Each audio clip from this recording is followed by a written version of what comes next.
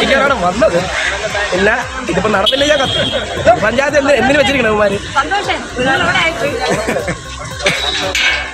മനുഷ്യന് കുടിക്കാൻ വെള്ളം ഇല്ലെങ്കിൽ പിന്നെ എന്തിനു പറയുന്നു ഉണ്ടാക്കി?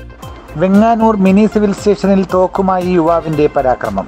കനാൽ വെള്ളം ലഭിക്കാത്തതിന് കോളിയൂർ സ്വദേശി മുരുകനാണ് എയർഗണ്ണുമായി പ്രതിഷേധിച്ചത്. രാവിലെ പതിനൊന്ന് മണിയോടെയാണ് സംഭവം നടന്നത്. കനാൽ വെള്ളം തുറന്നുവിടാൻ കഴിയാത്ത പഞ്ചായത്ത് അടച്ചുപൂട്ടുക എന്ന പ്ലക്കാർഡ് കയ്യിലേന്തിയാണ് യുവാവ് പ്രതിഷേധിക്കാനെത്തിയത്. സമീപത്തെ കല്ലിയൂർ പഞ്ചായത്ത് വരെ കനാൽ വെള്ളം എത്തുന്നുണ്ട്. എന്നാൽ രണ്ട് വർഷമായി വെങ്ങാനൂർ പഞ്ചായത്തിൽ ഇത് ലഭ്യമാകുന്നില്ല. പലതവണ പരാതി നൽകിയെങ്കിലും ഫലം കണ്ടില്ലെന്നാരോപിച്ചായിരുന്നു പ്രതിഷേധം.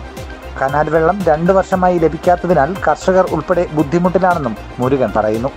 ഷിബു എമിൽ പക്കം മീഡിയ.